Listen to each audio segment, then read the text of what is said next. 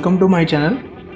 Friends, आज हमारे सामने है 2017 मॉडल स्प्लेंडर बाइक जिसका कि चार्जर टोटली ख़राब हो चुका है, जो कि बैटरी चार्ज अब नहीं कर पा रहा है। तो आज इस बाइक के अंदर वो चार्जर कैसे चेंज किया जाता है, आइए देखते हैं।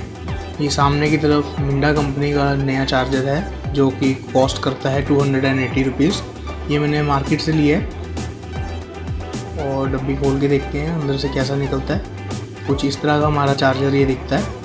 एंड इसके लिए टूल्स हमें चाहिए एक 10 एम mm का ड्राइवर एक 12 और 13 एम mm की चाबी और एक स्टार स्क्रू ड्राइवर और हमें इस साइड का पैनल ये जहाँ स्प्लेंडर लिखा है, ये वाला खोलना है।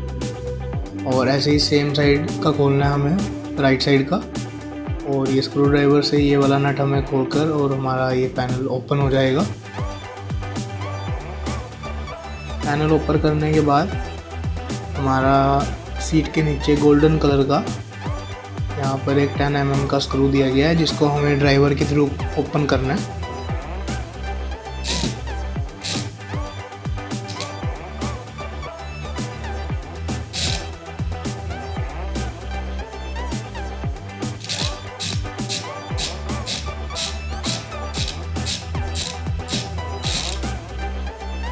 तो जैसा कि ये स्क्रू ओपन हो चुका है।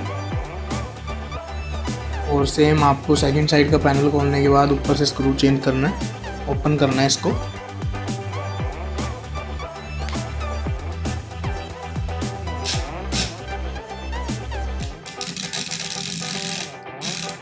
और अब सीट की खोलने की बारी आती है।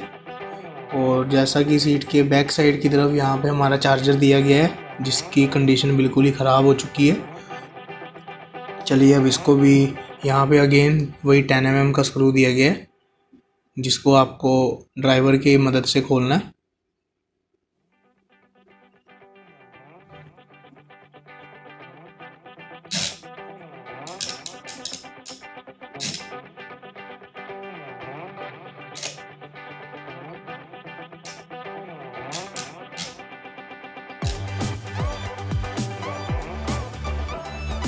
और ये स्क्रू थोड़ा सा टाइट है यहाँ पे तो इसको ड्राइवर की मदद से हम खोलने वाले हैं।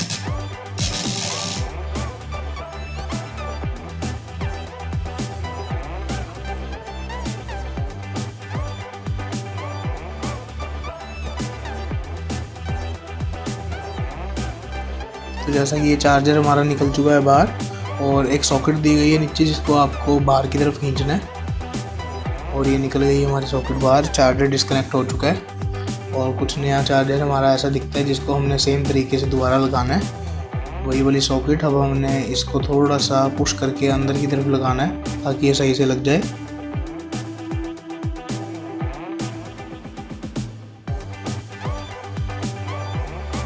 और ये लग चुकी है हमारी सॉकेट और ध्यान रखिए इसके ऊपर जो अर्थ की वायर दी गई है विद थिम्बल ये आपको सेम तरीके से यहाँ पे कनेक्ट करनी है, ताकि इस चार्जर का करंट कहीं भी डिसकनेक्ट ना हो।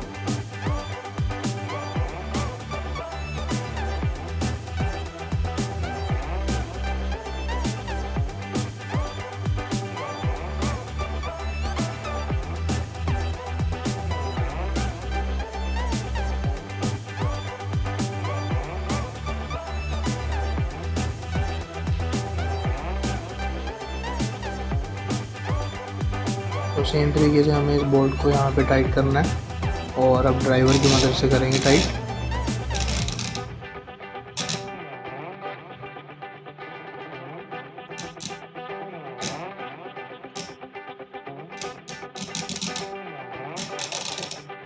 और ये हमारा बोल्ट टाइट हो चुका है। अब हमें सेम तरीके से वही सीट को दोबारा बंद करना है। साइडों के दोनों टेन एम के स्क्रूज लगाने हैं और पैनल्स बंद करने हैं।